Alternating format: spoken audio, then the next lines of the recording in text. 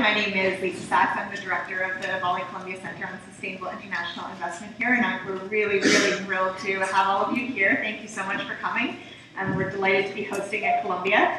Uh, but most of all, we're incredibly excited to launch this project, which has uh, been at least a year in the making, a lot of hard work, and, and not this launch is not a culmination, but actually um, a, a, milestone, um, but we expect to continue to work on this, hopefully with all of your input and, and continued support. Um, so I just wanted to take one minute to welcome you all here, but without further ado, I'm going to actually hand over the whole floor uh, and stage to Daniel Kaufmann, the president of the um, Revenue Watch Institute Natural Resource Charter, who will introduce our panelists and, and the agenda for today. So thanks again very much.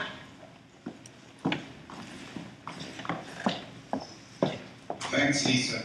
You were too, too quick. Maybe, not, most people know Lisa Sachs, but let me say that she, she heads it, the director of, of the VCC. Um, so thank you for hosting this. Thank you also for, for the great collaboration between VCC and Revenue Watch Natural Resource Charter. Both of our organizations are going through, through rebranding. Um, so that's another exciting part our, collaboration.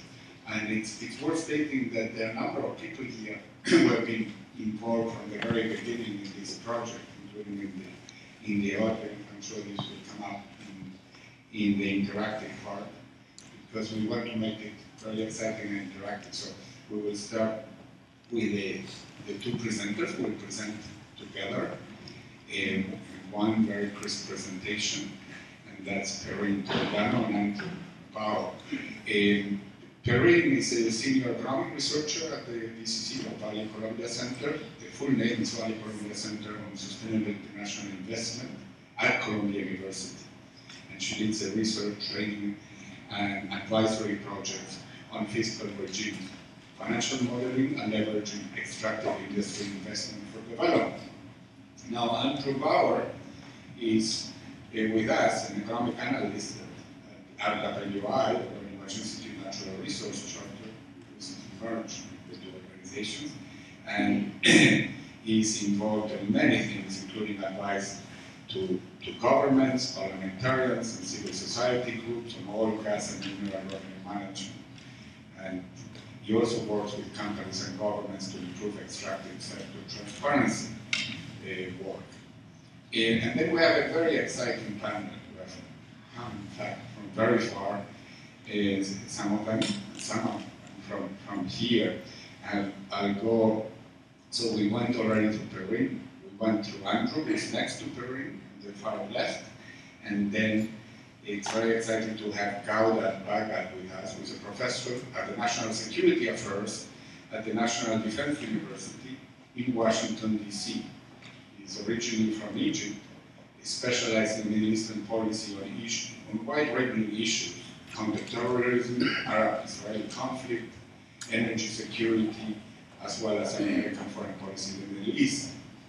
And to his right, to Gawdat's right, is Malan Rietveld, who is in fact here at the VCC, an economics and policy researcher, uh, was, a form, was an analyst and advisor to central banks and sovereign wealth, uh, wealth funds, and is completing his PhD in economics from the University of Stellenbosch, Stellenbosch in South Africa.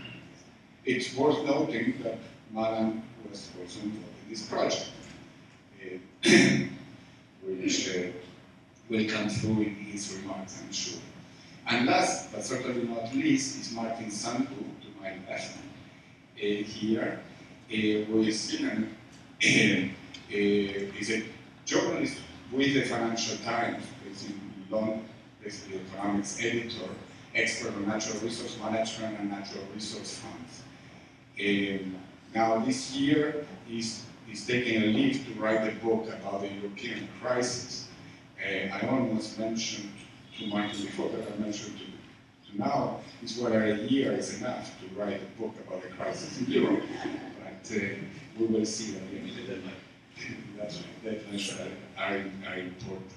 So without further ado, we're going to get started with the with a presentation by Karim and by Andrew. Let me just mention that after the, the presentation, we'll have a very interactive, interactive Q&A with the three panelists, and then we'll open up to, to the floor. Not only will open up to the floor, but because this is online, this is being webcast, there may be also questions coming online or through, through Twitter. So I have with me the mini iPad in case that, that happens. So don't be surprised if I read a question that you did not ask, but that's coming from from from from there. Um, so let's let's get going, Karin, Okay, with your presentation. So my Sorry, my turn to thank you all for coming and attending the launch of our project. Uh, we will, by this presentation, we uh, quickly present the findings. For those that are online, uh, you can't really see the PowerPoint, but this is posted on the VCC uh, website. Just on the page where you uh, registered for the event, you can also find the link uh, to the PowerPoint. So to start with, a little bit of definition uh, on what is a natural resource fund. This is a government-owned entity that serves um, macroeconomic objectives such as uh, mitigating the expenditure volatility that is due to the commodity cycle, just you know, as an example. They uh, serve this macroeconomic objective by investing at least a portion, but not necessarily all, of the natural resource revenues in uh, foreign assets. The source of funding comes from oil, gas, and mining. So, a natural resource fund is an extra budgetary mechanism, but it's only one type. It doesn't encompass all types of extra budgetary mechanisms, such as a development bank, a, pension fund, uh, national oil company. This is um, a very uh, specific entity.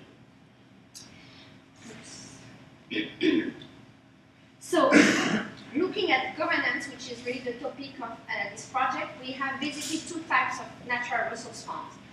Those that have helped um, countries escape the resource curse by helping mitigate the political and macroeconomic impact of the resource boom. So Chile, Norway, I think you all know the two examples. And the other type of natural resource fund is those that have helped further the resource curse by uh, encouraging mismanagement, uh, nepotism, and corruption. And you can uh, find this type of funds throughout uh, the continent, from Central Asia to Africa. So what has made the difference between those two types really is the rules, the institution, and to what extent those rules and institutions were based on the on a broad consensus.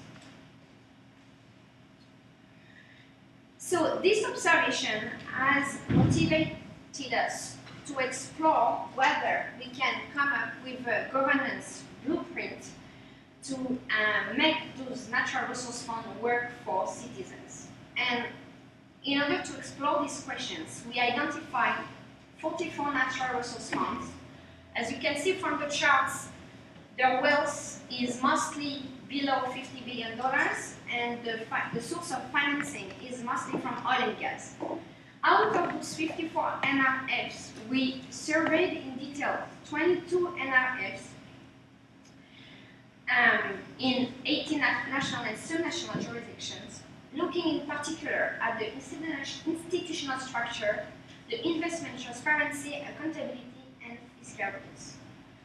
We selected those 22 uh, NRFs on um, the basis of whether they were uh, interested and on the radar of policymakers and uh, whether the information and the primary source of information was available. So what are our findings? Each profile includes such a slide that is a good governance rating slide. So each profile has a summary of the findings um, summarized in such a chart. Now, in a cross-cutting way, what can we say about those natural resource funds? They have under management 3.5 uh, trillion dollars in assets. Since the year 2000, there, there has been a massive proliferation of funds for the new producers such as Afghanistan, Israel, Kenya, Lebanon, Liberia, Mozambique, Myanmar, Niger, Peru, Uganda, Sierra Leone, South Sudan, Tanzania, and Zambia, and more. Uh, it, natural resource funds are, have been the hope to mitigate the resource curse and the Dutch disease. Um, further findings, uh, those uh, natural resource funds are more and more based on rules, uh, but uh, major problems remain with compliance. Some rules are more common than others. There is more focus on uh, management structure rules than on investment risk limitation, transparency, and oversight. That said, um, funds are becoming more transparent, and the Truman Index um, that is, uh, you know, rating all the natural resource uh, funds um, governance and transparency uh, corroborate these findings. But um, despite this fact, only about half of the funds studied uh, release audit and publish specific investments that are prone to generate risk. Out of these findings, uh, we came up with a six-step process, um, which is this that blueprint that I was talking about at the beginning, uh, which is supposed to help uh, those natural resource funds um, in terms of making the impact that is demanded by the citizens. So without further ado, I'm passing on to Andrew that will detail those uh, six steps. Great, thank you, Perrine. Um, so let, let me take off where Perrine uh, left it, which is this blueprint. So um, basically, you know, Perrine mentioned all these funds that are not working very well. There's some funds that are working well. So what are the lessons that we can draw from funds that work well versus funds that don't? Well, what we tried to lay out here is a six-step process that if a government wants to create a fund, that it ought to follow uh, if it wants the fund to work well. The first one seems pretty obvious, uh, but it's amazing how many funds don't have don't have this. It's set a clear fund objective. Why are you creating the fund? Uh, just recently in, in, the Northwest Territories in Canada, um, they created a, a new sovereign wealth fund, a heritage fund. Not a single press release, not a single speech mentioned why. They have minerals, so they created the fund.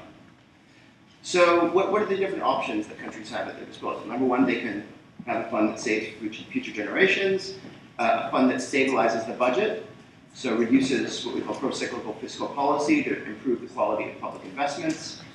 Um, a fund can sterilize capital inflows, essentially take money out of the economy uh, in order to reduce real exchange rate appreciation and uh, help prevent the Dutch disease. Um, a fund can uh, earmark resource revenues for specific development expenditures. Uh, and it can also be a, a, a ring fencing fund. It can protect if, if it has enough transparency and oversight, it can protect oil, gas, and mineral revenues uh, from corruption, patronage, and nepotism. The most important thing, though, is that the objective be clear, it's be that the operational rules for the fund be consistent with the objective, uh, and that it be uh, adapted to the needs of the economy. Step number two is establish fiscal rules. Um, there's been a lot of discussion um, a lot of academic papers, a lot of uh, guidance from, say, the IMF, uh, from academics like, uh, like Paul Collier, uh, Jeffrey Sachs, um, Tony Venables, many others who um, talk a lot about, you know, should countries save more or spend all their, um, all their resource revenues? And, and what should be the ratio between savings and spending of oil, gas, and mineral revenues? Um, no matter what fiscal rule is chosen, that rule has to be operationalized in a law. Uh, actually, it doesn't have to be because Norway hasn't. Uh, Norway just has a political consensus, but the vast majority of countries do operationalize their rules. Um, and whether you have those rules or don't have those rules, or whether they're clear or not clear, can make a difference between the fund working or not. So, just to give three examples, Azerbaijan doesn't have a withdrawal rule, meaning money comes into the fund, but there's no rule for how much it's supposed to come out, when it's supposed to come out, under what conditions it's supposed to come out. so you end up with a lot of discre- discretionary withdrawals. Uh, Alberta, in Canada, on the other hand, doesn't have any deposit rules, or didn't. They just changed their, their law. Um, meaning there was no rule on how much money should go into the fund, when, and how. Um, and so what ended up happening is they had something called a uh, Heritage Trust Fund, which is a bit redundant. Um, and uh, you know they only made two deposits between 1987 and, and 2013. Um, but then even if you do have these rules, they can be manipulated, as we've seen in a few countries, and we can maybe talk about that later. Yeah, we'll talk about Chile perhaps after. Um, step three is establish investment rules. Again, another way that these funds can be mismanaged is if uh, there's too much risk taking, that these investment, that the, the money that goes in is invested poorly uh, or is uh, handed to friends of the regime. Uh, so there are rules that you can put in place to, to limit risk. Um, you can designate the allocation between cash, fixed income investments, equities, and alternative assets. Uh, you can prohibit certain high risk financial instruments or volatile currencies. Um, you can also limit the use of resource revenues as collateral. Again, that's maybe something that'll come up later. Um, one of the more controversial recommendations that we're making um, in this report is that funds should not invest directly in the domestic economy. So we all know that resource revenues, I mean, the main purpose of taking assets, you know, mineral or oil assets out of the ground is to invest them in schools and hospitals and roads. But the question is, should natural resource funds or sovereign wealth funds be that vehicle? Or are they a way of bypassing the budget process, bypassing public financial management systems, um, and essentially becoming, do they end up becoming slush funds if they're allowed to invest in the domestic economy? So keeping um, that problem in mind, uh, there's certain, uh, certain funds out there, um, the Abu Dhabi Investment Authority, Bots- the Botswanan funds, Chilean funds, Kazakhstan, Norway, who have prohibited domestic investment. Um, other countries like Angola, Azerbaijan, Iran, and Russia allow it, sometimes with really, uh, really drastic consequences. Step four, I'll take another two minutes here, is, uh, is to clarify a good institutional structure, essentially make sure that the rules are, are complied with within the system. Norway is a great example of that, uh, where there's uh, oversight at every level of the hierarchy, where the um, Parliament oversees the Minister of Finance, the Minister of Finance oversees the central bank, um, executive board, the executive board oversees the uh, Norges Bank Investment Management Company, which oversees the fund investments. They oversee leader group. I mean, there's just oversight at every step. Step five, require extensive disclosures and audit. Um, oversight bodies, parliaments, uh, supervisory councils can't do their job unless they have um, enough information. And so the report outlines all the information that's required in order for these um, bodies to do their jobs properly, including publication of internal and external audits, which is done very rarely. and finally, step six is establish strong independent oversight. There are many different types of oversight. There's legislative oversight, judicial, judicial oversight, civil society, auditor general's offices, even international oversight, Article 4 is from the IMF, for example. Um, but you know, the, the work has to be done. And there has to be a critical mass of, of groups and, and individuals looking at whether countries are following their own rules and, uh, and whether these rules are actually serving the public interest. So all this information is available online. Um, well, the, the website is there, but it's also the, on the last slide. So we encourage you to take a look at the results for yourself. The full report is there. There are 18 fund profiles, like Vivian was mentioning, um, and an interactive map that you, um, that you can click on and do stuff with. Um, what we hope to do, I mean, as, uh, as Lisa was mentioning, this is just the, you know, a first step in this project. In this project, um, you know, we'll be meeting with others, uh, speaking to, to governments and uh, media and civil society and parliamentarians about these issues uh, going forward, and to the international community. Uh, Pippin and I were and, I were heading down to, to DC tomorrow. um, where hopefully we'll, we'll have a nice discussion on, um, on sort of building an international consensus uh, on, uh, on good governance standards for funds. Thank you. Thank you. Thank you both, Perrine and Andrew. And you it very, very tight and crisp. So obviously, one cannot adjust it to the enormity of the research that has gone into this for, for a very long time, and that's why it's very important to, to also complement it additional material from the web and so on. Um, you spend very quickly some time with very good uh, slides on, on the main recommendations that come out from the report, the so-called six steps, setting up the clear fund objectives, establishing the fiscal rules, investment rules, the institutional structure, division of responsibility, within that institutional structure, as well as extensive disclosure and audit, and last but not least, strong independent oversight bodies. So those, that's very clear, clear rules. Now, very quickly, Doreen, in the earlier part, you went through the results of the uh, in-depth analysis of these funds. And, uh, and maybe you were being a bit politically correct. What emerges from that analysis is that there are few that are operating okay.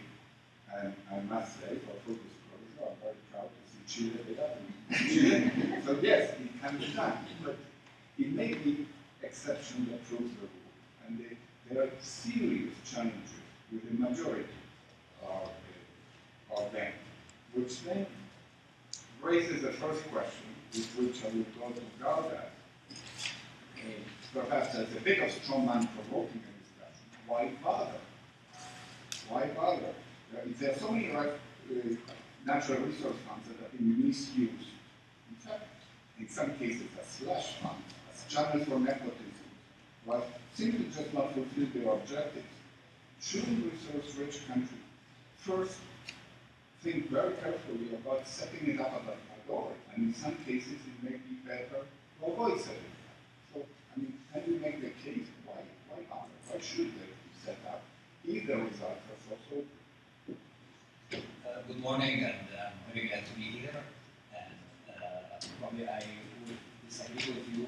They, are doing well. Probably uh, once there's uh, the reason for sovereign wealth funds because there's too much money and very small market. Uh, all, all my work is on the Gulf states, Persian Gulf states, and they have very small population, small market, and they have a lot of money. So uh, they cannot invest all this money domestically. They have to uh, invest it overseas. And the other option is not to produce oil and gas, keep it underground. And this will be bad for us in the West, the United States and Europe, because the more they produce, the lower the price. So, so far they made the calculation that it is in their best interest to produce more, there is more money, and uh, history proves that they are doing well. The oldest fund is the Kuwait Investment Authority, was created in 1953, even before the country was born. And during the uh, Iraqi occupation of Kuwait, uh, the whole war expenses were covered from the Kuwait Investment Fund. The care of the population, the war, everything, so it was very good investment.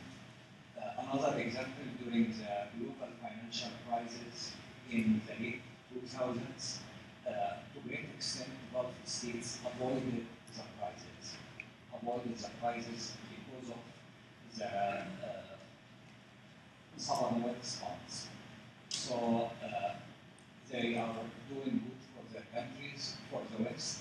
In the United States here we say money talks. They have money and uh, without their investment, who would have heard about Qatar? Who would have heard about Abu Dhabi, Dubai?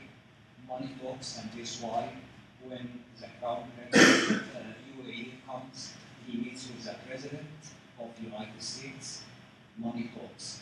So uh, they need uh, food for themselves, and also it is good for us, for everyone. Thanks, uh, uh, for making the case for it. and, and that's appreciated. So let me go then now to Malan and pick up on that and say, okay, but let's be realistic. We spoke mostly about the God, but still the whole rest of the world. And we, can, we will come back to the and, and the Gulf, particularly with Martin's expertise in that. But then there's, there's a whole set of countries which are incredibly challenged in terms of their institution, at what stage they are in development, in terms of government, in terms of corruption, and so on. So for those highly challenged countries, many of which have recently discovered natural resources, some have had it for a long time, and, and in Africa it's quite prevalent, but not just in Africa, in, some other continents too.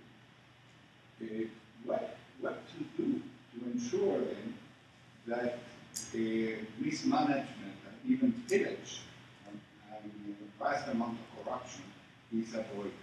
We heard before from the that there are six steps recommended, but those are, those are generally applicable good, and you may have some, something else, or you may want to say that there are two or three things that are absolutely crucial that need to happen for those most challenged settings in, development. Yeah, Thank you. So I think um, if we talk about real basket case countries in terms of institutional quality and governance, um, you know, I, I have little hope that the fund will not be created at some point unless there's some sort of political reform, governance reform. But for the sort of in-between countries, um, and on the other extreme we'll have um, Chile and Norway, so you can't have a conversation about good governance without talking about Chile and Norway. Um, but sort of in between countries, and there's a lot of good countries fall into this category, I think a, a natural resource fund is actually one of the better things you can do.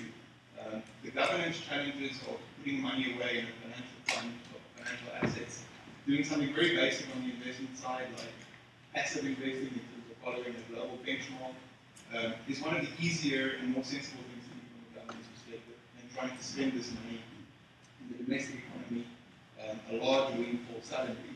Um, the governance challenges are sort of a higher order of magnitude than doing something uh, very basic like saying you're going to take a portion of this money and put it in a portfolio financial assets, 50% bonds, 50% global equities. We're not going to try and, as they say in the financial sector, shoot the lights out on investment performance, but we're just going to have this money. And in terms of the, village question, you could build in institutional um, requirements, such as the central bank governor, the minister of finance, the head of parliament, all need to sort of sign off on the on the money before it can be withdrawn. Um, I think it's a it's a better uh, insurance against uh, death and, and of, of resources. Take these. Should we focus in those type of settings on a particular objective, whether it's you know, micromanaging activities, stabilization fund for development, or set up different type of funds, or start pricing through simple objective? I, think um, in institutionally in government challenged countries, the simple objective is the best. But we see in most cases the countries have a stabilization fund and a savings fund. So some of the money will be in highly liquid assets, uh, bonds and money market instruments, so that if they have an unexpected hit on oil revenues, um, they can liquidate some of that fund and, plug the gap. And some will be in a savings fund with a more long-term investment objective with the idea of saving money for the future and generating investment income in the meanwhile. But uh, in practice, most countries are, are doing a bit of both in terms of savings funds and, and stabilization funds. Good. So let's go now to Mark. Back to the East. That they did mention that one of the reasons that they said, the country said, they will focus on the dollar and they have to set it up because the enormity of the, the, the money flows generated by the, the revenues in particular, and some gas, eh, and they cannot invest it domestically. The fact is that in, in third country, in the Middle East, some of them are investing domestically, directly from the fund. That's it's, an issue not without controversy, which already Andrew is, spoke, spoke about it. Uh, countries like uh, uh, Botswana, Chile, Ghana, Kazakhstan prohibited domestic investment directly. In fact, what others do, do it. Uh, what's your What's the right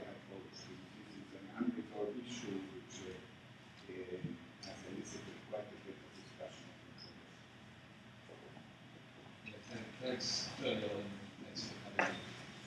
But uh, there's a good reason why it's, it's unresolved and, uh, and generates a lot of discussion, because it's, it's a very, it's a practically very difficult question. And that's because it combines two very hard challenges. One is the main topic of all this work, which is how do you manage windfall wealth without waste and without corruption. The other, in this case, is how do you manage public investments without waste corruption, investments into infrastructure especially, where we know, completely apart from oil and gas and mineral revenues, that this is where you see most, this is the sector particularly pro-corruption. So you sort of doubled up with, with problems uh, in the case of having natural resource windfalls and the question of investing domestically. Now, I think one point to make very clear is that there shouldn't be any controversy on the plain macroeconomic side of this. In, in all but the very richest countries, I think there can be no doubt that even from a financial investment perspective, the return on investing in the infrastructure for development, physical or social, roads and trains and so on, ports and schools and hospitals, all these things, human and uh, physical capital, the return on that is greater than the return you can expect to get global markets. So just from a, a plain macroeconomic point of view, there, there shouldn't be much discussion that most of these countries do need to invest a lot domestically. Right? That's not um, that's not the question. Consequently, they should be running big current account deficits. One way or another, their natural resource revenues will finance that. And that's one part of it. But the problem, and this is what comes out in the research that uh, revenue what done too, is that you can get to the same macroeconomic outcomes, pursue the same macroeconomic targets in a lot of different institutional ways. And that's really the question, what is the correct institutional mechanism? Um, so that's a bit of a preamble, but just so that we, we understand really what the question is about.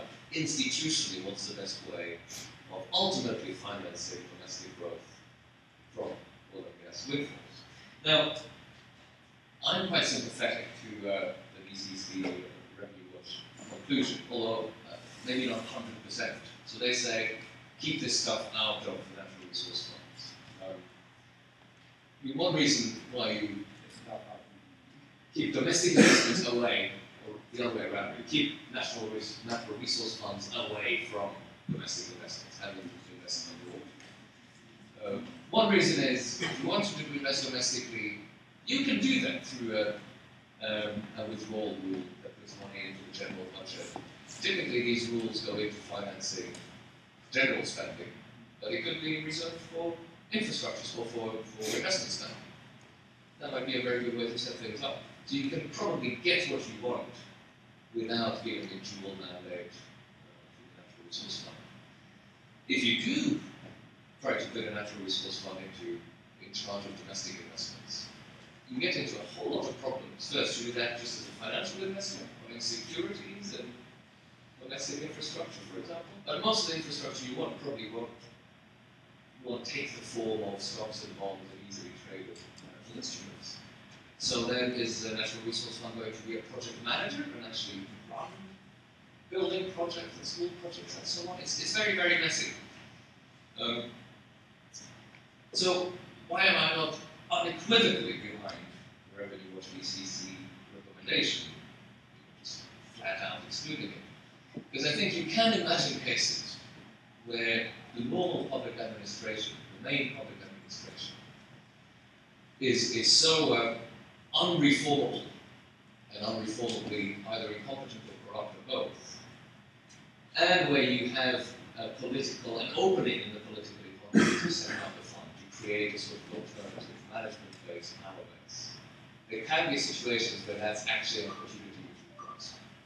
Uh, but you need to realize that in those, I think, very rare cases, and, and I can't think of what I would recommend off the top of my head. Um, even if you succeed, you will do that at the cost of setting up a dual administration. It will cause you problems in the long run. But it could be, it just could be the lesser evil, very rarely. Um, but what I would say, what I would recommend is that generally, don't do it. If you do, it will always be defended and advocated with a very plausible political argument that, of course, we to invest in our people. It's a strong political argument as well as macroeconomic truth. But whenever you hear that, you want to ask once, twice, three times the old question of cui bono, who is really going to benefit from this? Who is advocating it and for what reason? Great. And uh, we're being told that for technical reasons, we need to speak up so that all the, the online audience can, can hear and, and, and join us. Um, this debate actually is a bit reminiscent of something I, I, I've been working on uh, earlier stages, and this is whether and when it makes sense to set up anti-corruption commissions to fight corruption. So it's part and parcel of a broader discussion about institutions of, of restraint against abuse, against executive abuse, and other forms of, of misgovernance, and when and how it, it does make sense. So there, the, the issue arises that, in fact, the these type of organizations and institutions may end up working quite well in countries that don't desperately need it. And while in countries that very, very much need it, and you are giving also those exceptions from investment rules, uh, that they could have investment in countries where the rest of the public sector so dysfunctional. And then the question was, which you alluded to, of political economy. What is the chance that they will succeed and will not be subject to the same capture same village and the same political economy forces than the, than the others. So we can go through all these technical and technocratic measures that need to be taken and steps. These are really, really important. But are they likely to succeed in a setup where the politics, the political economy, and the governance much more broadly in the country is not there? So maybe if, if I may, I, I want to inject one point here culture because to a great extent from our discussion here, I see you are very much uh, believe in our model, our system, and assume that it can be applied in every case. Uh, again, all my work is on the Middle East, and with the exception of Iran, all sovereign wealth funds in the Middle East are very much family business. These six rules, they are very good rules, but they apply here in US, in Europe, in the Middle East, especially in the Gulf, in Libya, it is family business. Uh, no, no parents come to the children and let's decide our objective. It, does not work like this in family. And, uh, and this is why uh, I, I believe, even transparency, uh, people there are more or less happy with the way in great extent, country like Qatar, Qatar is buying London. And uh, it is it is family business. The whole country is less than quarter million. So uh, everybody is happy. It is uh, the wealthiest country in the world per capita. And uh, again, probably my point here, we should not assume what works here will work every case. Cultural sensitivity. Let's go to Martin. Yeah, follow up with that, and then. The, uh, I, I, agree completely with, with, the fact that countries are different in very significant ways. Now, what is culture? I mean, I like to think of it in terms of political economy incentives, which, which may, in the end, look like, or be, be what culture is, or the relevant aspects of culture, as you make a decision as a government leader or a bureaucrat, what are the incentives you face in terms of making your, your decision. And I just wanted to share one point that's been a theme in the research that I've done on this, uh, together with Macartan Humphreys at the Political Science Department. Um, it matters a lot whether there's political competition that doesn't have to be democracy, it can be competition between clans or even within families, although probably it's not just the funds, it's the countries that have family businesses in these cases. There isn't much political competition.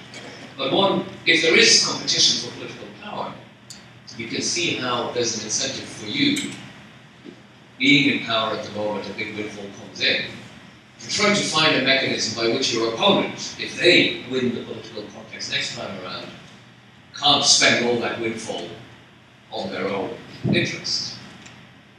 And you can do that in two ways, either by spending everything today so there's nothing left for them, but that might be hard if there's a lot of it. Or try to compromise, binding yourself in a way that will also bind them, so that in round three, when you get back into power, there will be something left for you. That's sort of a stylized political economy model, if you like. But the point is, some of these things might be both more realistic in terms of how they were set up, and more promising in terms of will they work, if you have some form of political competition going on in the country in question. Um, let me let me add to this that um, I, I agree that the Middle East has its own sort of internal political uh, equilibrium and it has its way of doing things. And, and in fact, the Middle Eastern funds are among the oldest and most established and certainly the largest um, Kuwait, uh, Abu Dhabi Investment Authority. So, so I don't think um, we, we, we should expect a rapid transition to, to success in these countries. But again, there is a on the other side, you have uh, your Chiles and your Norways that are um, that are that are very strong uh, democracies and have strong oversight in their political culture. I think the project speaks to that. But most importantly, the project speaks to a large number of countries somewhere in between: um, Nigeria, Ghana, Venezuela, um, Timor-Leste. Uh, the list goes on and on. Where um, you know, if we say people are happy with the way things are being run East, with the management of oil revenues, we certainly can't say that for many of the countries I've just mentioned.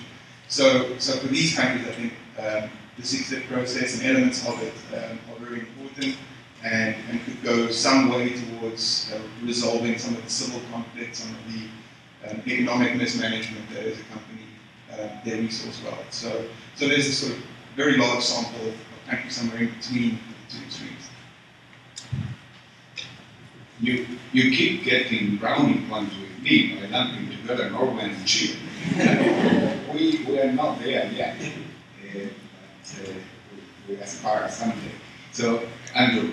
Oh, yeah. Um, no, I mean, in some sense, these Gulf countries that, that um, Dr. Bhagat was, was referring to, I mean, they are outliers.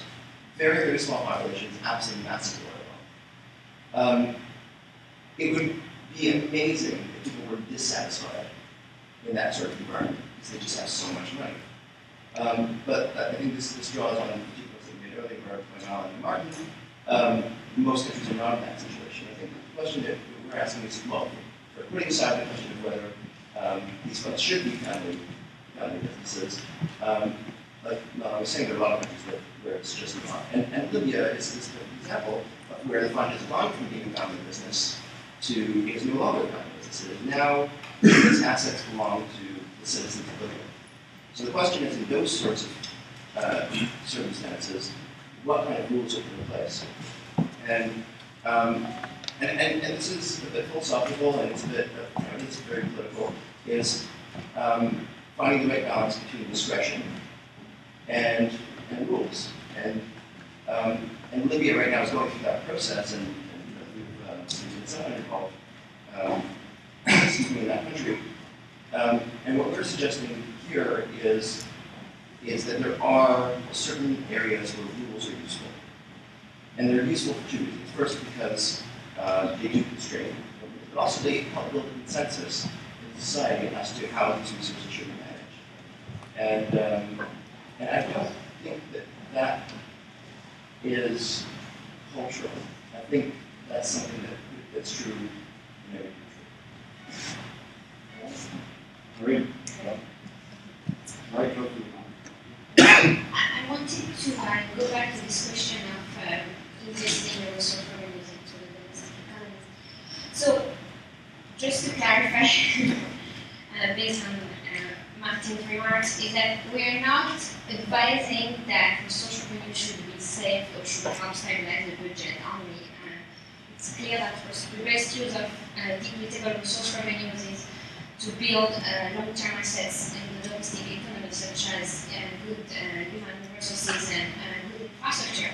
But we are only saying that uh, the money should not be invested directly, which is this term makes all the difference by the fund, but through the budget. So the, the fund could earmark money for development, but then it should go back to the budget because the budget has the right processes such as um, you know procurement bidding uh, to invest the econ- the to invest the money into the economy.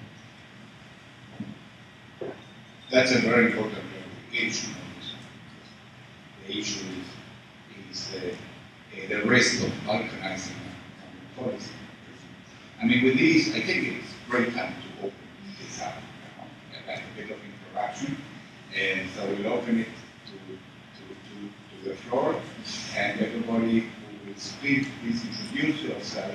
For technical reasons, you, there's no roving microphone. So either you accept to come up here and speak from the microphone, or then I will summarize, please be, be brief. Uh? Yeah.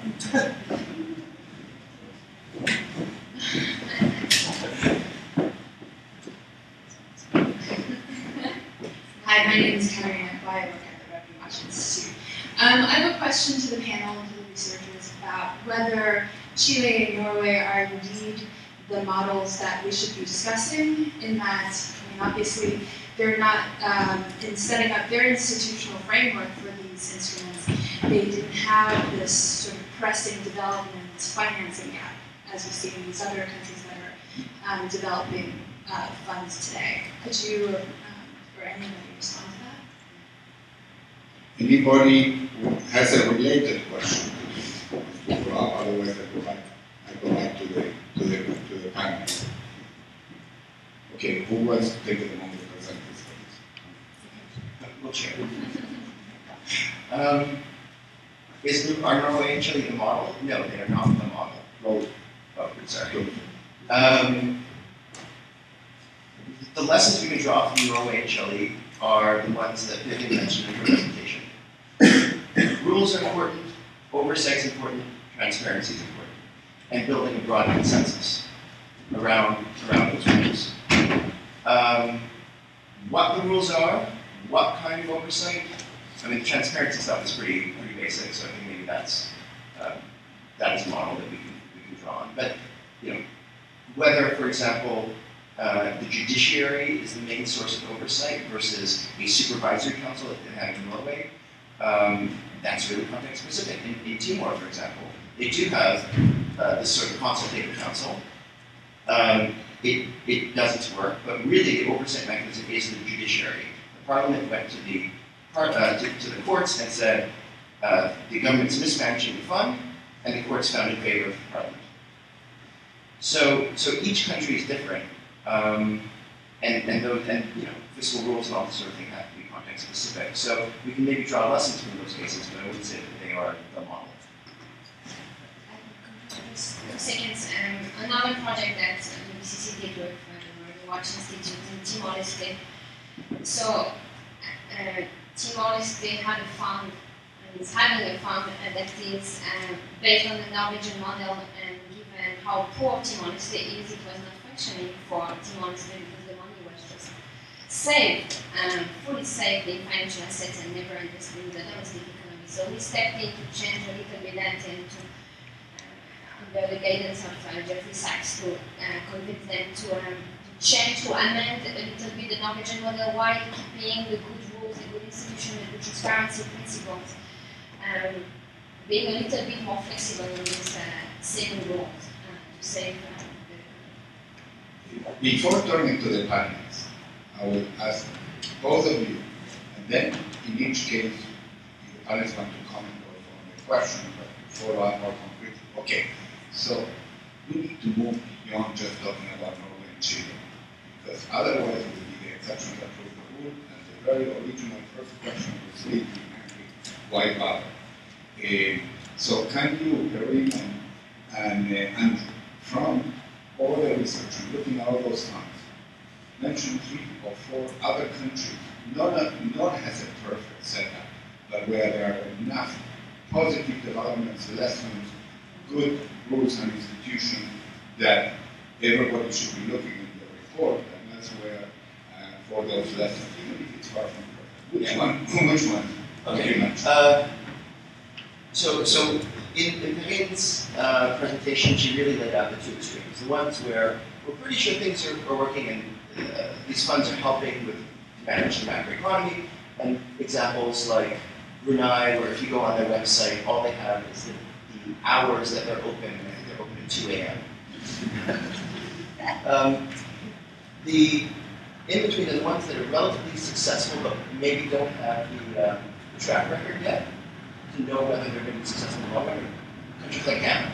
Ghana has a really fantastically comprehensive uh, oil legislation. Um, they have an oversight body called the Public Interest and Accountability Committee, uh, made up of 13 different civil society groups.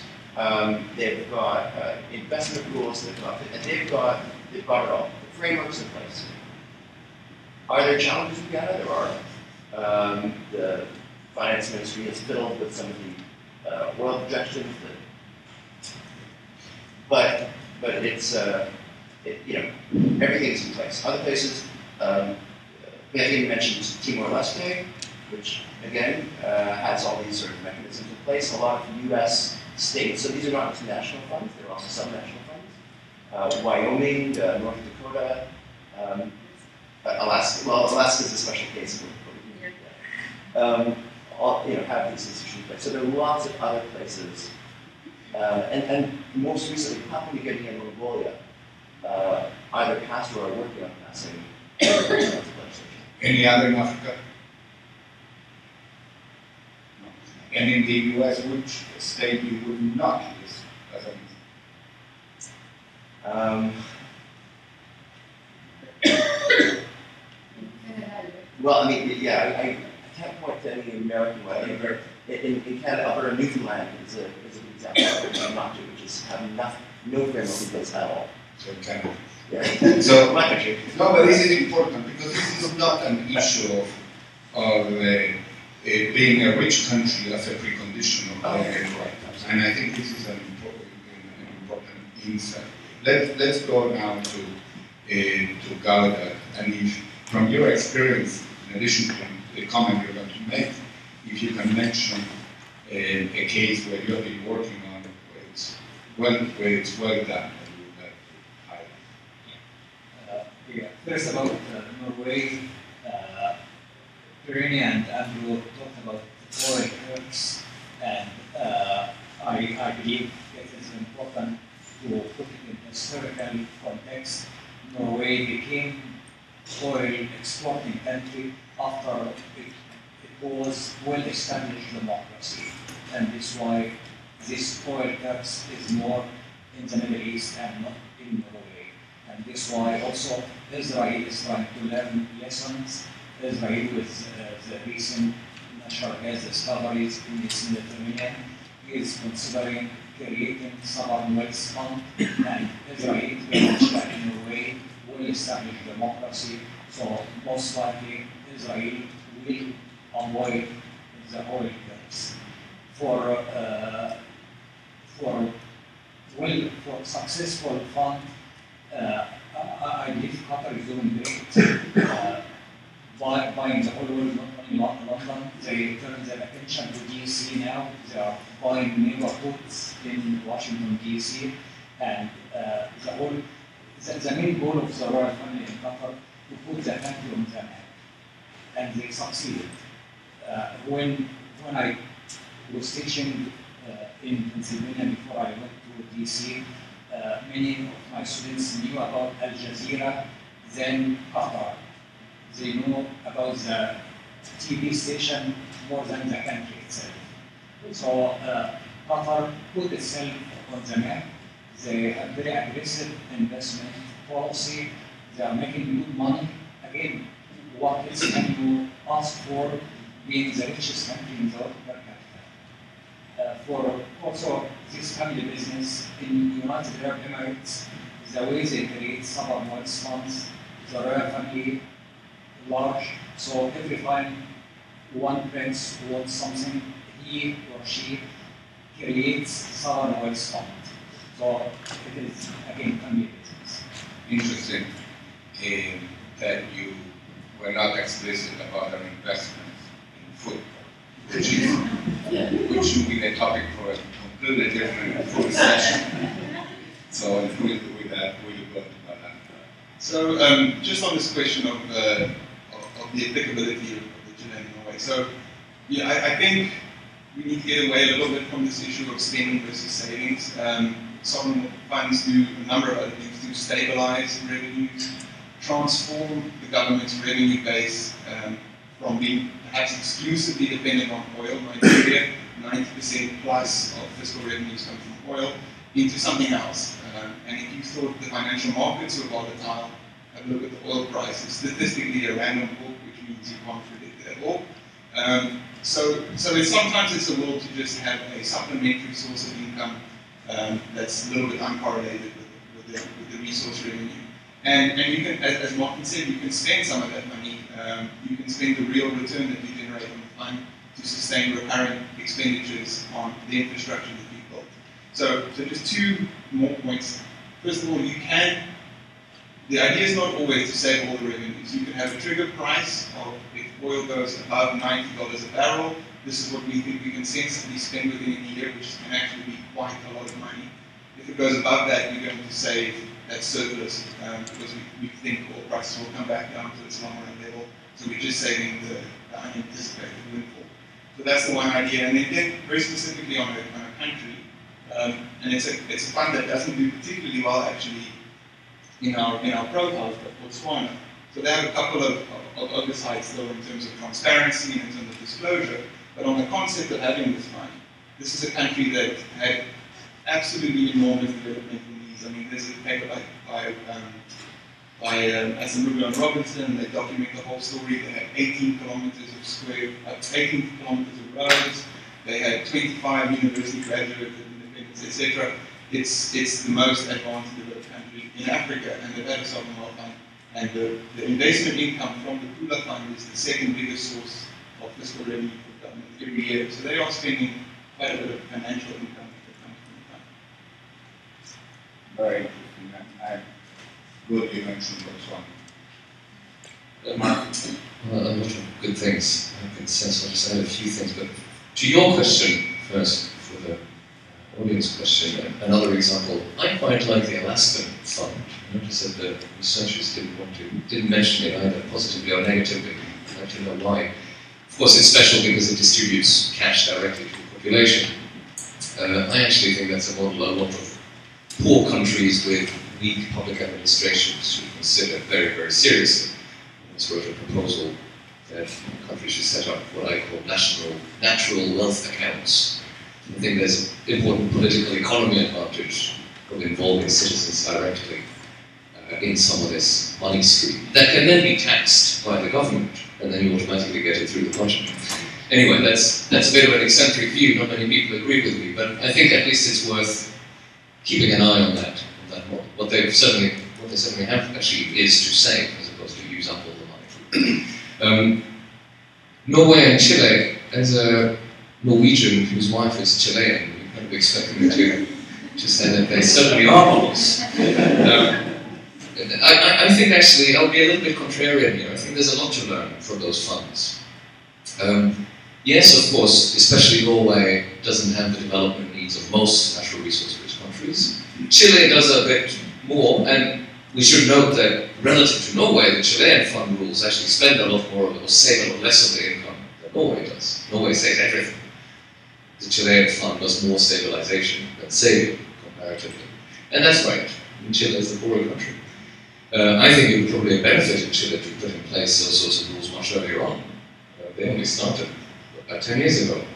Um, but what is common for all natural resource-rich countries is that the oil and gas and minerals you take out of the ground, you're not going to use them domestically. The only thing you can you do with them is to sell them to the world and then use the money somehow.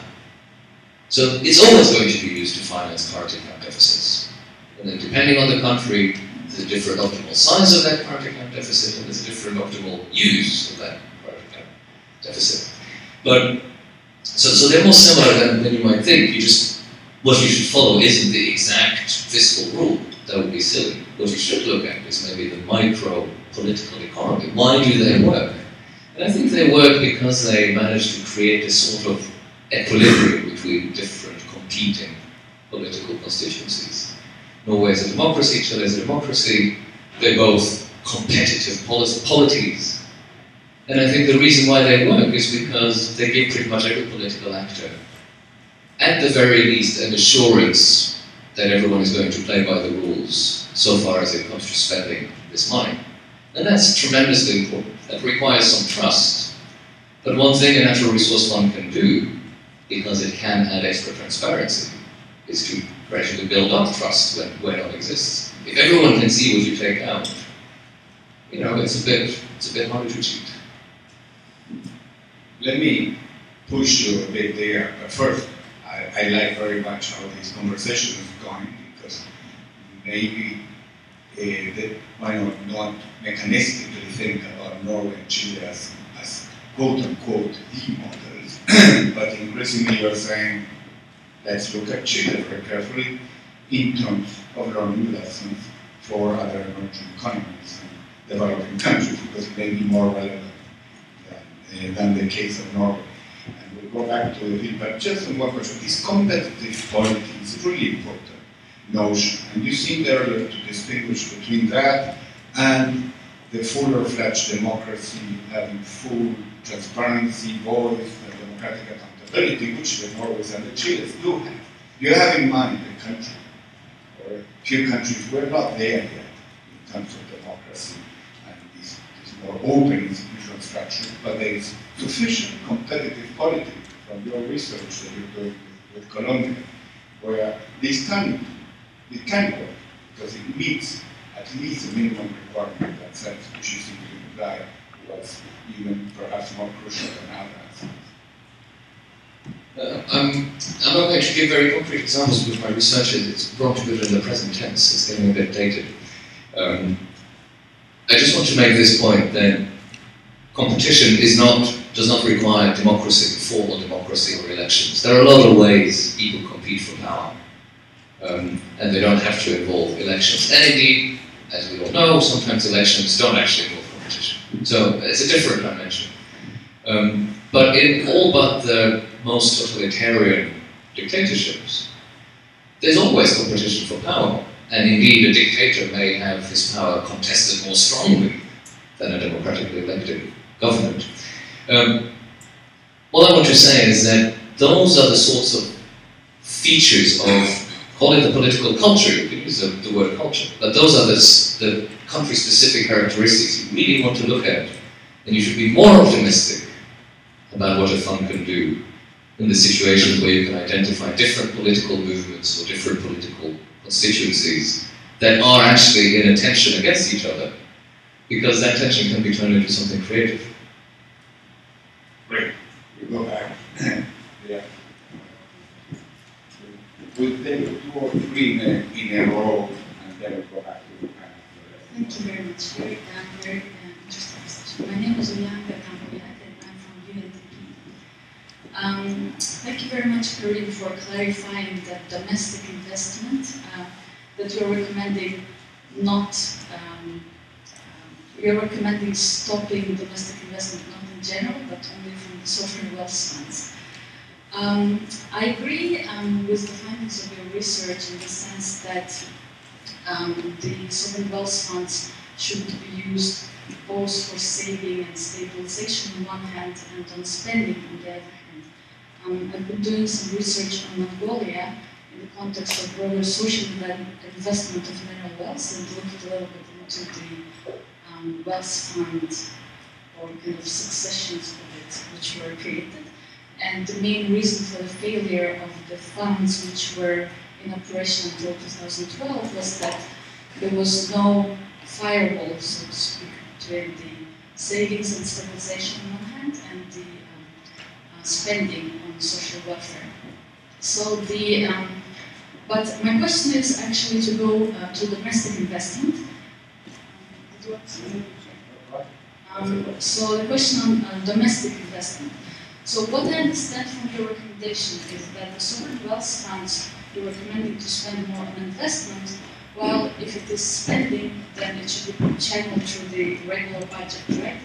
The domestic investment might have kind of, it can go from one um, um, spectrum to another. Kind of it's a broad spectrum.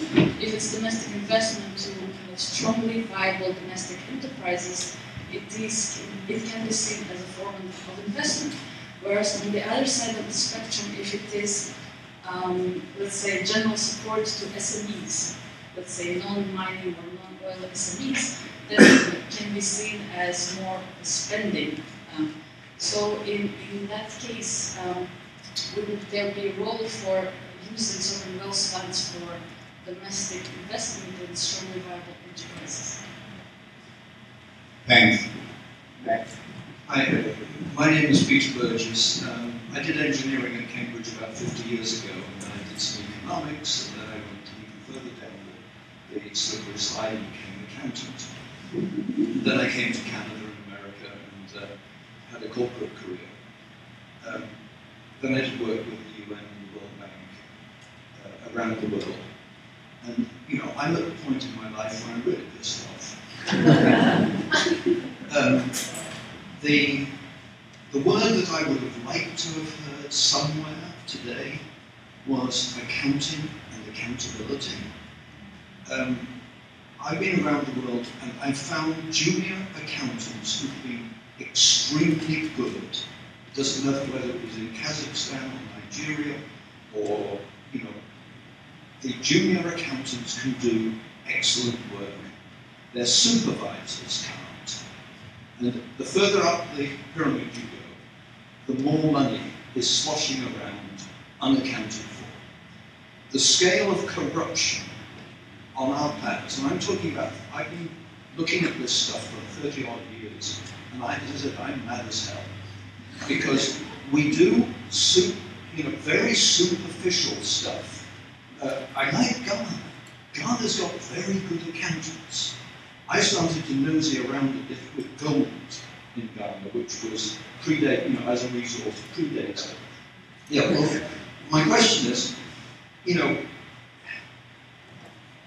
what is going to change something so that we really have the money being used for something that's worth a damn and not just making leaders richer and richer and richer? That's clear. If I can ask everybody to go quick to the question, so to give a chance for the, for the response. So what is the question? Uh, let's say uh, we have a company about natural gas. if there are price mechanisms uh, haven't been uh, fully marketized and so on and so forth. Uh, so how would natural funds, natural resource funds, and investors choose these firms, and how the, uh, the funds governance works, uh, if possible. Maybe use an example of the United States in any points of history. Uh, from China. Uh, sure. Hi, A project for the World Bank and the United Nations on value chain um, and extractive resources. Um, there are two things that I'm wondering that I don't see in this report that I think are critical to a successful implementation of what's in there. And one is the lack of capacity.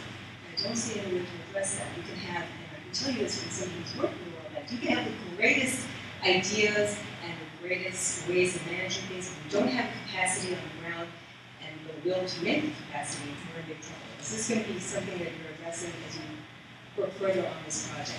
The second thing is that kind of, I mean, I read the report on this, so I'm wondering about the relationship with the general public. Um, natural resource funds are wonderful if you have money or a very, very small population.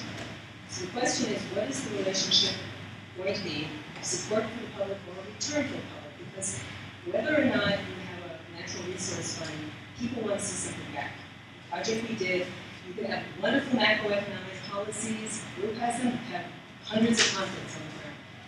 You see Chile, you see other countries, Norway, you see something coming back to the people. And I want to know if somebody here can address whether or not, I was suggested about the last model, how you can make a greater return for the public when they see and feel the virtue of these funds.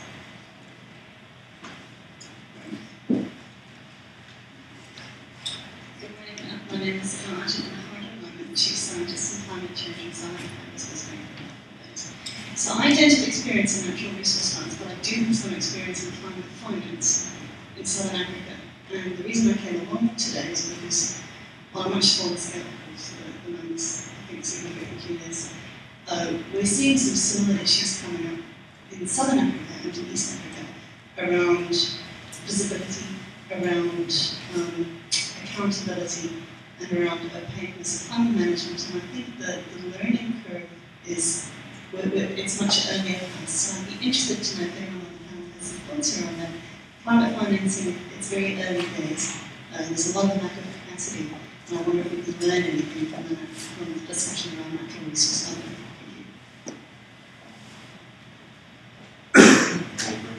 My name is Leonardo Adela. I'm staying here in Columbia and I also work for the Moon Project. And question is almost established that the Norwegian pension fund is a prime example. But Norway as a whole, they, as a, as a, as a the government of Norway, they invest, they donate some money for, donate some money for Indonesia and Brazil to protect the forest, but at the same time, the public fund is dir- directly, indirectly funding deforestation directly. So uh, I know it's, there's a, uh, uh, there's a, some change on the way. Uh, Norway recently announced at least for their global fund, recently announced some changes in, the way they're going to invest in, uh, in mining. At least that's that's been explored. Actually, that's that's such a mining. And I wouldn't be surprised if other funds wouldn't face the same problems in, in order of making their, their uh, sovereign wealth funds and their public donations or their public investments outside of these funds. Because there is a duality. Like the best example we have is this discrepancy, and I wouldn't, I would expect similar things, if not worse. Thank you. What we're going to do now, given the richness of all these questions, we will go in reverse order. So to go full circle, in, in a sense, of the panelists first, and then end up with, with Andrew and And please, uh, each one of you, don't feel that you have to answer all the questions. They cut the most germane to you, and at the end, Perrine and Andrew will address the others. Thanks. I'll, I'll try to give some very brief uh, answers to questions two, three, and four, because I think they all relate to this question of what, what can we really hope for a natural resource fund to do for us? Now, uh, one was about uh, accounting and accountability, and I certainly am completely behind the sentiment behind the question. The word accounting didn't come up, accountability might have, but transparency certainly did. The, the one thought I want to respond with is that the creation of a natural resource fund can often be a sort of constitutional moment in, in a country's trajectory. And it is an opportunity where, even if the general public administration is hopelessly corrupt, because you're creating something de novo, it is actually an opportunity to create both rules and hire the people to follow them. For example, the younger accountants you've met around the world. Um, sort of almost under the radar of maybe the main political leaders. You know, until the money arrives, people might not think too much about whether it's a bad thing for them that people know where it's invested. But once people know where it's invested, that makes a difference. Um, so that's you know that's an optimistic take on what a natural resource fund can do if it's intelligently set up. Um, to the uh, to the next question, uh, that's more pessimistic. That was uh, the question from the gentleman from China um, about, uh, if I understood it right, is what if the natural resources themselves are sold on a non-marketized basis? It's a problem. That's a very convenient way of siphoning resources off to whoever controls them by not selling them at market prices. It's not something a resource fund can do much about. You should, of course, set up a fund with rules about how money should go straight from sales into the fund and so on. But I think you basically identified one of the many other problems that we have with natural resource revenues. And one maybe where we can't really hope that we can't hope that NRFs will do will solve every problem. Um, so it's probably it's something that happens earlier in the value chain. It needs to be fixed. Many of the same principles apply, but it probably can't be solved through an institutional fix at the resource fund itself. Um, and finally, now let me remember the last question. Yes, it was how do we involve the population? Um, the two ways to think about that. Does the population feel that it gets anything back in terms of better conditions of living? I think that's what we all hope for. Um, that's a very big question that I'll, I'll put to one side. The narrower question is, how do you get the population politically involved and feeling that it has a stake? Because the problem in many natural resource rich countries is that oil and gas and mineral revenue allow the state to float off completely separately from the population.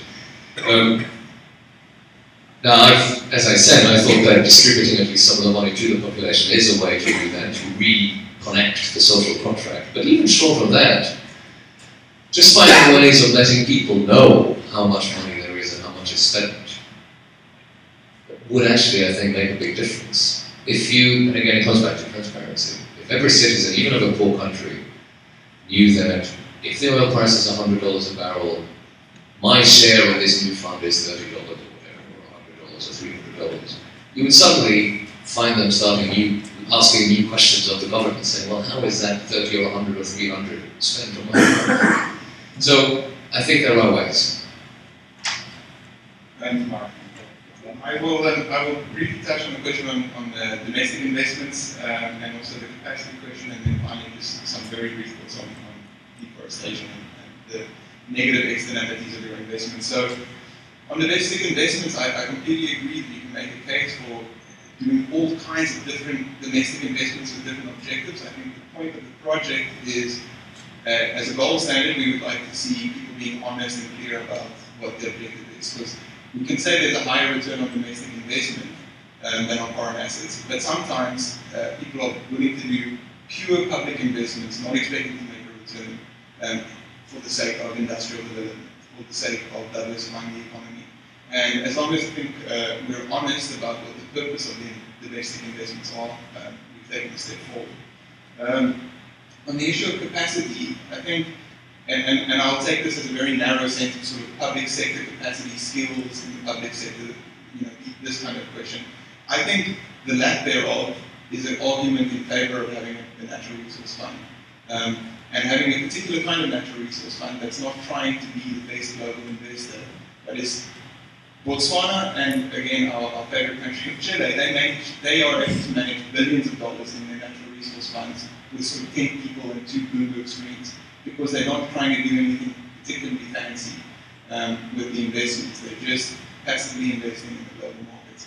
And I think the, the capacity you require to do that is much smaller than the capacity of managing a large windfall in the domestic economy, coordinating how you're building bridges, ports, hospitals, and will there be nurses for the hospitals, and all of these questions.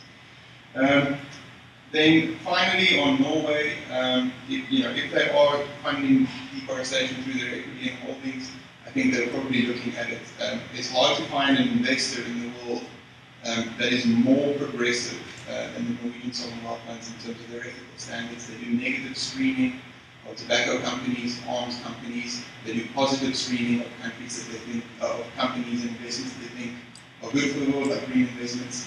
Um, I'm sure there are still things that slip beneath the radar, but I think they are completely at the bang of, of ethical investments um, and, and good for them for that. Thanks, Mark.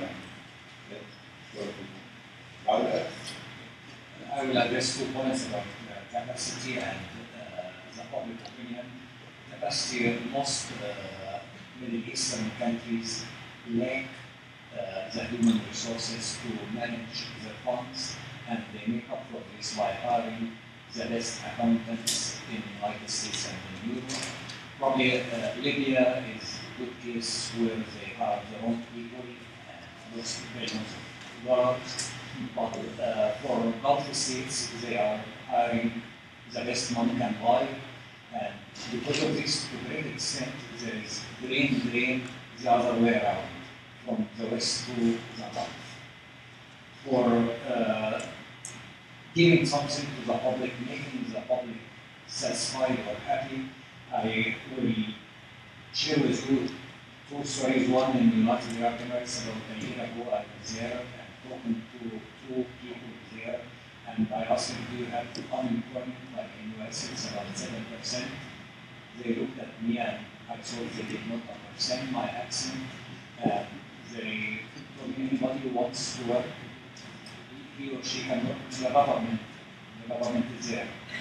Uh, in Kuwait, a few months ago, uh, the Kuwaiti Emir decided we have too much money, so he forgave all the debts. Anybody all the government anything, was forgiven. So the public is happy, and that's why there is no Arab Spring in Gulf oil countries. Is different because Gaddafi was Um, so uh, I'm going to answer questions one, two, and four, um, but maybe backwards. So first, I, I don't have much to add to what uh, Malan and Mark were saying about capacity. Um, of course, it's, it's quite important, um, but if you have the right rules in place, it becomes less important.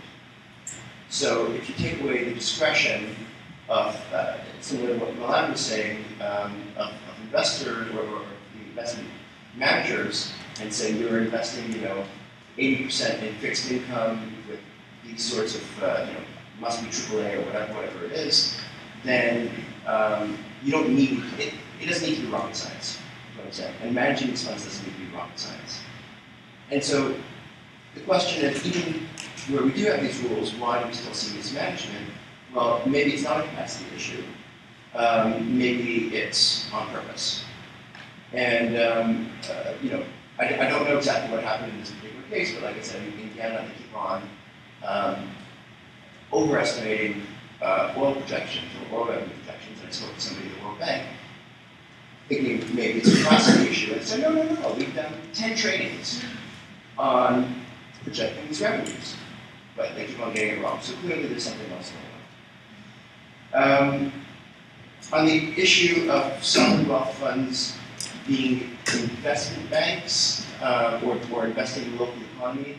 Um, again, I mean, I'll, you know, I don't want to repeat what Vivian said, but what we're recommending is, is not not investing in the local economy. It's it's just not using your sovereign wealth fund to invest directly in the local economy, and also being very clear about what the objective of the fund is. If the objective of the fund is stabilization and savings, then maybe it should be used as an investment bank. If it's going to be used as an investment bank, and you know provide credit to local businesses, then, then say so.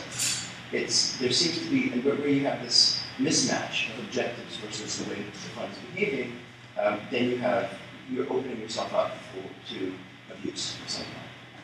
And then the last point is on the importance of accountability. Um, if you want, you know, and, and this is the point of having the right accountants and, and you know, having accountability at the lower levels, but not necessarily at the higher levels, um, I think we have the right institutional structure in place, then that helps. In other words, if you have accountability at the top, the Minister of Finance is accountable to the Parliament, and uh, you know, the manager, fund managers are accountable to the Minister of Finance, that improves the situation. But really what you need more than anything else is broad-based consensus. And what they did, and, and actually Martin can probably speak about this better than I can, um, in Sao Tome, when they set up their fund, they literally ran around every village and said, we're setting up this fund, how should we manage it? They did it in Ghana, same thing. There were public consultations around the country on should we be setting up this fund, how much should we save, how much should we spend, how should the fund be managed? Um, in the Northwest Territories, they're doing the same thing. When you have this sort of consensus, then there's these people who are part of these meetings are more likely to uh, oversee or, or at least be interested or monitor fund behavior. And so, you know, I think that's that's another strategy. It's something that's not happening in other countries like Colombia, where we're also setting up funds, but there's no other consensus. Yeah, so the last one. It will be quick. A lot has been said. Um, in terms of uh, rules making up for capacity, uh, this is something that we uh, find in the context also of uh, natural resource contract negotiation, where we recommend um, to have strong uh, oil, no, oil and mineral law in order to compensate for the lack of capacity at the table of negotiation. Uh, so we can draw the parallel here. In terms of something else going wrong, I want to recall that Botswana, uh, with, uh, that is often heralded as a model, is also not that transparent. Um, it's um, um, we don't, we uh, our analysis was based a lot on secondary analysis. The primary uh, laws are not really accessible. Don't publish so it's a bit counterintuitive. Uh, Botswana doesn't want to um, to um, be a candidate to the EITI. So, you know, our six-step process is, um, is of course what we recommend for the fund, for setting up new funds, but are uh, way on that. Yeah. Um, um, and last, to go back to this constitutional moment that uh, Martin was talking about and the opportunity that the fund constitutes. Uh, um, so it's a, it's a moment and an opportunity to clean a little bit the political economy, and it's also a moment to distinguish between uh, what is an investment, what is investment, what is consumption in terms of spending. So that's the time to really understand what is uh, really uh, building long-term assets in the economy versus uh, having short-term impact. Um, last of, before we closing up, we really want to thank here our best researchers on this project, Ben Victor and Eric Green. Here, So yeah, because you never met. um, they are really uh, the, the men of the project, and uh, of course uh, Malan, but Malan is also an author. And that's it. Let me, let me also recognize um, a very senior alumni of Revenue Action Fund, Oti. He's also has been involved with Vale Center, who was involved with the original and the years ago on, on this. A very important role. Thank you, uh, Antoine. And uh, maybe in, in wrapping up, just very quick pre-reflection that that are very much related to what was discussed now, except perhaps for the third. What is this, this constant tension and debate around the need for more capacity, which goes far beyond the issue of this particular natural resource funds, and where, having been also in the World Bank and other such organizations, we know about the billions and billions that have gone into capacity building with very mixed results in, many cases. There's no question that capacity building and the capacity issues are very important, but often they are used as a fig leaf to mask or to underplay the political economy the political will. That means no words. Venezuela is a good example. The capacity is there, the skills are there. And I can mention as a South America, Latin America, many Latin American countries where the capacity is not the constraint. So we cannot avoid weighing into very difficult political economy issues, including issues of elite capture and so on. So both have to be on the table. The, the, the whole issue of how important it is to establish institutions and rule of restraint on the executive, on the, the president and others of the country, and therefore, thereby, as per the point, enhance accountability and governance is absolutely crucial. And I thought Martin's point was very important. A major institution and rulemaking moment is the constitutional amendment. Others are crisis. Crisis place, a huge scandal, a major government change, or major discovery of, uh, of uh, natural resources. Such an opportunity. You mentioned the case of Israel and some others. So the moment that that happens, it can be, it, it can be uh, game shifting if they, uh, they do it right. And that leads to the third point, and I, uh, in line with your comment before, one word that was not used is leadership.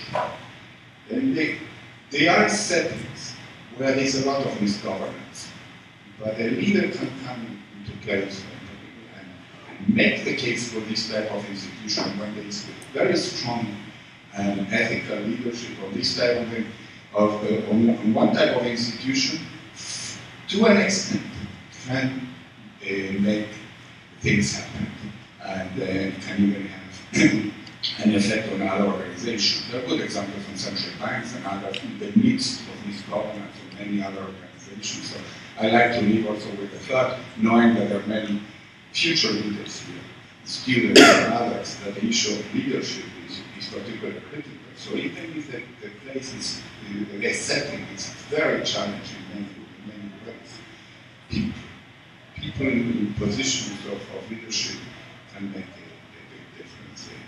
But these basically is trying to encompass a little bit of a very, without to for just a very rich discussion that happened here. There's much more also in the, in the materials, which are in the, web. I want to thank enormously all of you for being here and so involved. Those are online, Perrine and Andrew for the great work, the other researchers who have been involved, and particularly the panelists, some of which have come from afar for this event and for the great insight. Thank you very much and round of applause.